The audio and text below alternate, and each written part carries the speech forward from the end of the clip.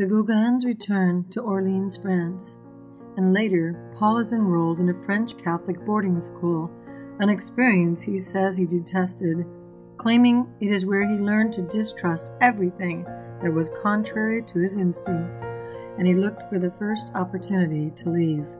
He joined the Merchant Marines and began to travel the world again as he did from age three. As a second lieutenant aboard the Lusitano, he travels to Portugal from Le Havre, France to Rio de Janeiro, Brazil. He will spend 13 months at sea as a second lieutenant. In 1867, Gauguin's mother, Aline Maria, dies at age 42.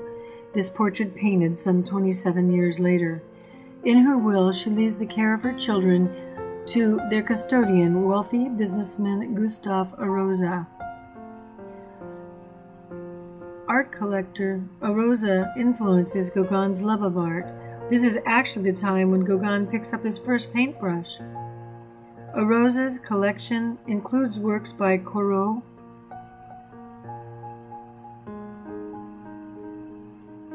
Delacroix, and Courbet. In 1868, Gauguin joins the Navy and spends a couple years aboard the Jerome Napoleon. He travels the icy, cold, barren coast of Greenland. Much to Gauguin's disappointment, having preferred the tropics. It is said this is when Gauguin took up wood carving such as this frame here made from walnut. Ironically, the Gauguin family name means walnut grower. In 1871, Gauguin returns to St. Cloud, France, to find the town and family residence destroyed by fire during the Franco Prussian War. He returns near his former guardian in Paris, who secures him a position as a stockbroker's assistant.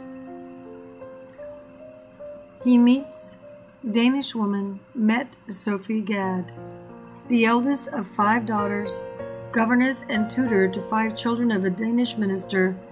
She teaches them piano and lessons in French, though her native language is Danish. He also meets co-worker and fellow artist Emil Schuffenecker, pictured here with his family and here in a family portrait by Gauguin. Together they study painting and visit the Louvre, where Gauguin begins painting as a hobby, a so called Sunday painter. The hobby soon becomes a driving force in his life. He is a self taught artist. In 1873, Paul and Mette Gauguin marry.